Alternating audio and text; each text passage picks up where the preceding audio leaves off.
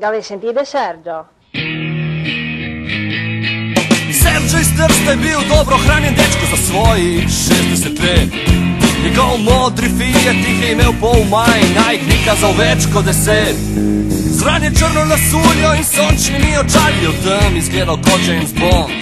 Edina omembe vredna stvar v njegovem življenju bil en močen karambol. Sergio, Sergio, Sergio Tržaški James Bond. Sergio, Sergio, Sergio Tržaški James Bond. Za Portoroško noč je povlekel iz predala verižico in zlat čalet. Poleg ribe, žensk in vina si je hotel privošči tudi lepo gnjemet. Ko je svijetom divjal iz zaspuha, puščal meglo, da so tudi ptiči mogli pristati.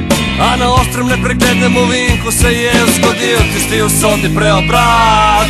Sergio, Sergio, Sergio Tržaški James Bond.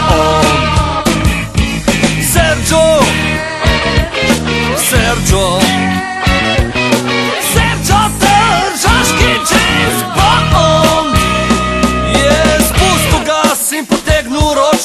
gume zacvile, ga odneslo je bočno. Eno štoparko videl in jo hotel pobrati. Je vrgu brzino, začel rikver zdivjat Nas proti pripeljala učiteljca v okrkani merotu in vrgla v noči.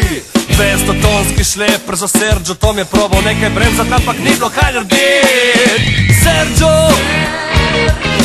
Sergio, Sergio Tržaški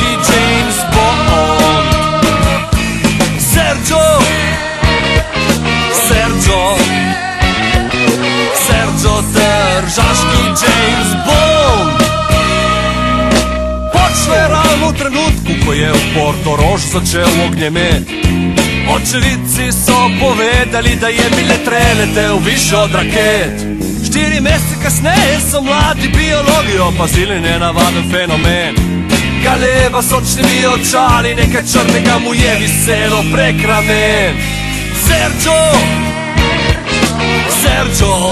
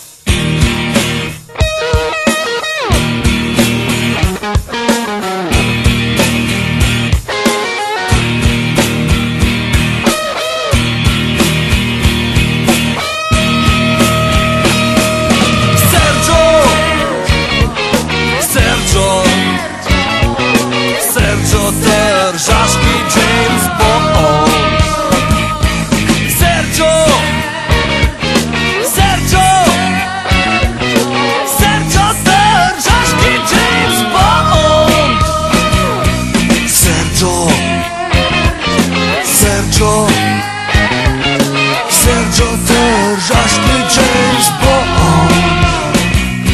Sergio, Sergio,